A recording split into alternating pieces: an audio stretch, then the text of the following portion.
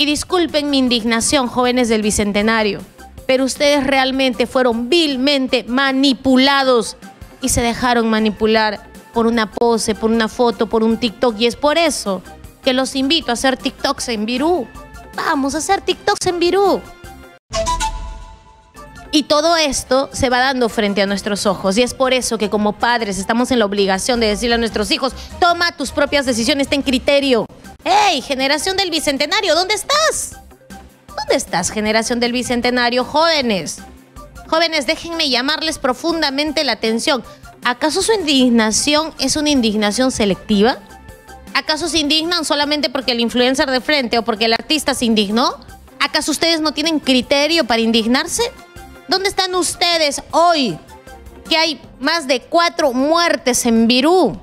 Pues que acaso esos jóvenes, por ser humildes, no valen lo mismo que los jóvenes que aquí murieron frente a los medios de comunicación, porque todos los medios de comunicación, perversos, malvados, mermeleros y que cobran, estaban en vivo y en directo desde las marchas, diciendo los policías no tienen que usar ningún tipo, ningún tipo de armamento ni siquiera deben decir nada si están rompiendo todas las calles de Lima, porque lo hicieron.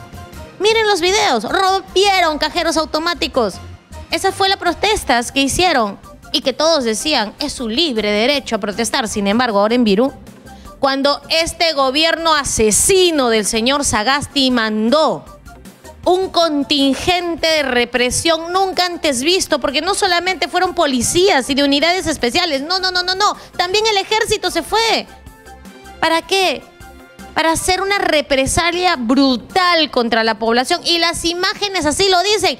¡Ey, joven del centenario! ¡Yuhu! ¿Dónde estás?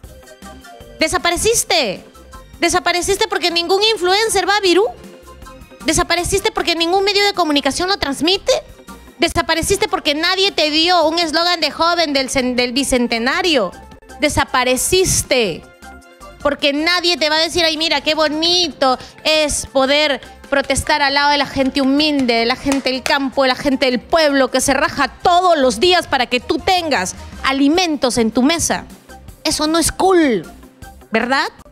Y disculpen mi indignación, jóvenes del Bicentenario, pero ustedes realmente fueron vilmente manipulados y se dejaron manipular por una pose, por una foto, por un TikTok. Y es por eso que los invito a hacer TikToks en Virú. Vamos a hacer TikToks en Virú. Hay muchas personas que están en los hospitales, hay desaparecidos. Y los congresistas que van a Virú reciben todo, todo el tema mediático que recibían los congresistas morados, esos mismos morados que se opusieron a que puedan liberar los montos de las AFPs. Esos mismos morados que pedían que haya exoneraciones y apoyos tributarios para las grandes empresas, esos mismos morados que jamás apoyaron una sola ley del pueblo, esos mismos morados que se volvieron casi héroes. Esos mismos morados que están pintando los hospitales de morado, faltándote el respeto a ti en tu cara. Esos mismos morados cuando iban a los hospitales, iban con cinco o seis cámaras. Uf. Y como son guapitos, y como a los peruanos nos encanta, pues los de piel blanca, ¿no? Los guapitos, chévere, lindo. Los asesores morados, lo máximo. ¿Verdad? Pero ahora hay congresistas en Virú. ¿Alguien se enteró de que hay congresistas que están visitando las comisarías, que están buscando a los desaparecidos, que están viendo que atiendan a los heridos? ¿Alguien le interesó? No, tus TikToks están en eso. No, tus TikToks están en otra cosa, ¿verdad? Vamos, con Camilo, con Eva Luna y con demás. ¡Ey, joven del Bicentenario! Despierta. Eres el endeudado de todo el Bicentenario. Frente a tus narices te convencieron de que el Perú necesita endeudarse por 100 años.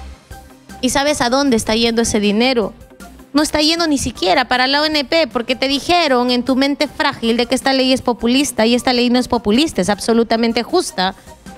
Te dijeron de que los que necesitan más apoyo para que esta sociedad funcione, para que este gobierno no se caiga y para que la economía esté de pie, son los banqueros y los grandes empresarios. Y es por eso que frente a nuestras narices el Banco Central de Reserva del Perú le hizo una inyección de apoyo económico de 17 mil millones de dólares a la banca privada de nuestro país. ¿Y dónde estaban ustedes diciendo de que esto es una mentira? ¿Acaso le inyectaron economía a tu familia, a tus padres, emprendedores, negociantes, ambulantes, que se sacan y se rompen el lomo por hacerte profesional? No, a los banqueros. Y te cuento algo más, los banqueros de este país nunca cerraron. Durante toda la pandemia tenían sus negocios abiertos de par en par jamás tuvieron una limitación, y menos los negocios de los banqueros.